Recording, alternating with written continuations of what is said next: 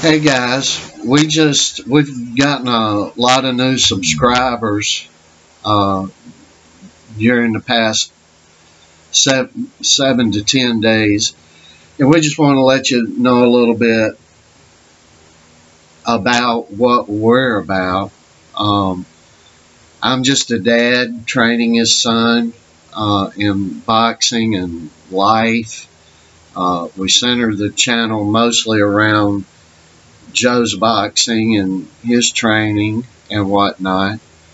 Uh, Joe chose boxing as his, as his sport because he wanted to uh, get into a sport where he just mainly relied on himself and what he does uh, and not a team sport.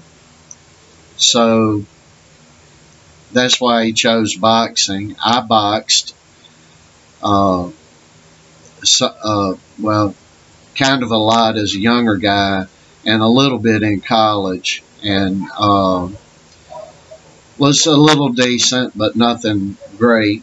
Uh, but Joe's doing very well at the sport, extremely well. We've had multiple world champions uh, say a lot of good things for and about Joe. And my little mission in this is just to help young people out in this insane asylum that they live on now called Earth and to just try to help guide kids through all the things that they should not be seeing and uh, that they're forced to see. And uh, to try to tell the truth about a, a lot of the lies that kids get. So uh, this is just a little bit about what we do. But I wanted to I wanted Joe to mention something that can be very important to anybody. Joe's got some gifts. He's uh, 14 years old. Uh, I haven't measured his height here lately. He's going through another growth spurt. So he's probably just a hair under five foot ten inches tall. Uh, no, he's over five foot nine and a half inches tall, and uh, he weighs over 180 pounds. Of course, that fluctuates a little bit depending upon what he's doing. Uh, but he trains every day. He works extremely hard in school, and uh, he keeps fighting forward in everything that he that he tries to do. Uh, he also steers clear of the trouble of this world, which I'm so grateful for. And uh, but I was going to ask Joe to mention something because this is what always comes up in life. This can be for adults, kids, anybody, any of us. Uh, Joe had a test and the test was his first sparring session, and this has been a good while back. Uh, Joe had maybe he was 12 years old, maybe he had just turned 13. Uh, but where we were at, the guy put the best teenager he had against Joe, uh, whom happened to be have all these three qualities. He was the biggest teenager in the gym the fastest teenager in the gym and the strongest teenager in the gym. And uh, I let Joe. Joe don't talk too much. He's like Sonny Liston. Uh, another thing I wanted to mention to any of you kids, if you're going through that rough of a time, uh, we're open and we're available. We'll find a way where you can call us or we'll be able to call you. We'll make that happen. Because uh, one on one, Joe talks real good. He just doesn't like the camera stuff other than uh, showing his wares online. He enjoys that. But uh, as far as the talking, he's not he's not a very big talker. But Joe, I was going to ask you to, uh, and you were saying you'd like to mention this. What happened in your first sparring session?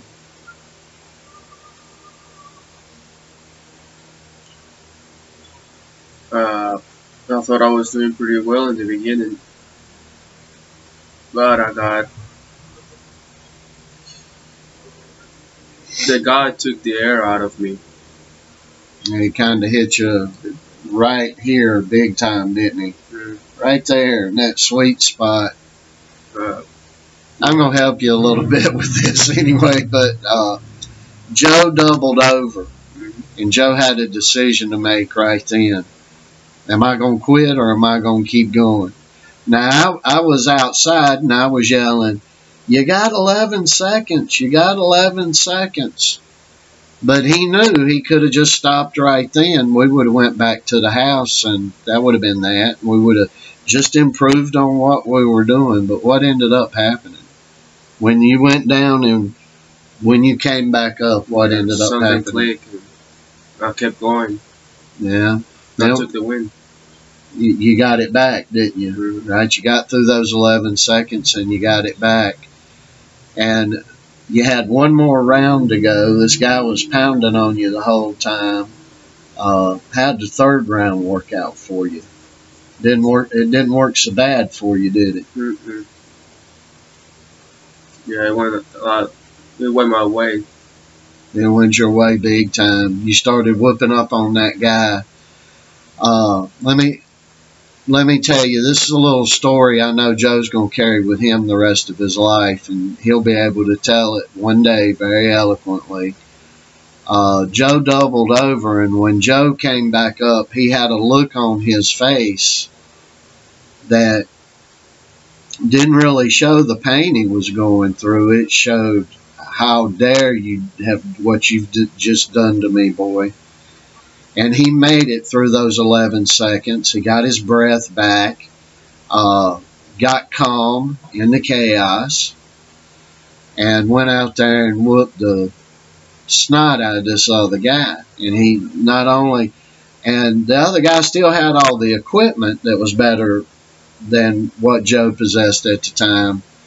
Uh, but it rattled that boy. That boy had been manhandling and bullying all the other guys in the gym, and uh, he couldn't handle it when a heart as big or bigger than his came back up on him.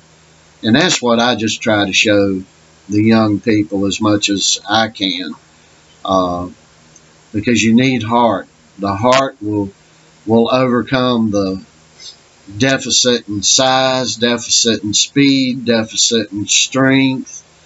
Uh, the heart is is the biggest thing you need to win at anything in this world. You need the heart, and the heart, if you've got a good, strong heart, it will push the drive for you.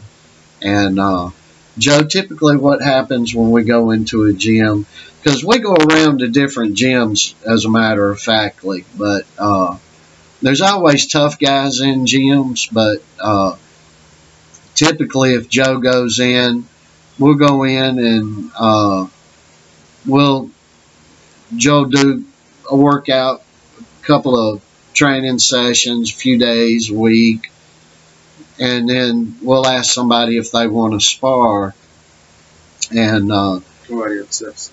nobody accepts, right? Well, they accepted in one place, and after that fiasco, so we're having trouble even finding grown men to spar him. And uh, that was burning under my skin, and I was like, oh my gosh, we got to get some sparring in.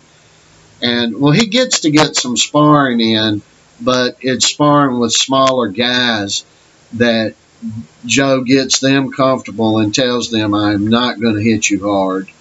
Uh, so it's a very slowed process.